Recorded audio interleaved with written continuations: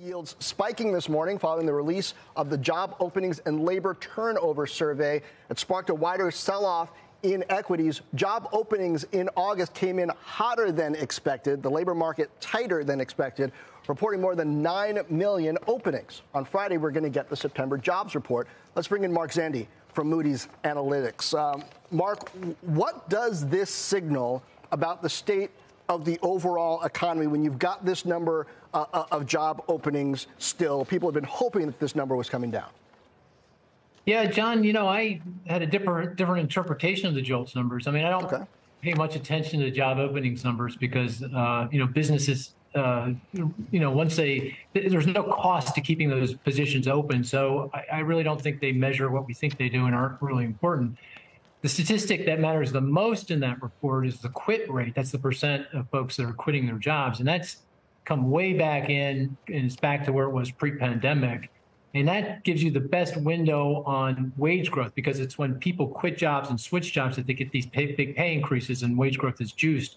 And of course, that's key to inflation, that's key to monetary policy and interest rates. So you know, I, I, look at that report and I say, hey, that, that felt pretty good to me. I mean, the quit rate was as low as it was. So I was, uh, I'm a little perplexed by the market reaction. I think you know, lots of stuff going on, a lot of mo- momentum, uh, speculation, technical factors at work here, but the fundamentals don't argue for much higher long-term interest rates. Okay, interesting. How do you weigh in what's happening with unions and strikes for higher wages and stronger benefits along with this report. If you want to focus on the quits part, are you also relying on some kind of compromise that, that isn't weighted so much toward the unions wage wise going through?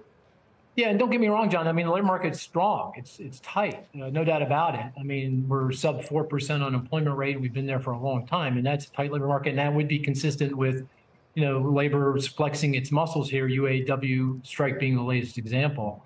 Uh, but, uh, you know, uh, you know, in the grand scheme of things, uh, the labor market actions are pretty modest, and I don't think that's going to drive the train on wage growth more broadly. And wage growth more broadly, you know, no matter how you measure, whatever measure you want to use, feels like it's moving in the right direction, at least to be consistent with, you know, the Federal Reserve's inflation target.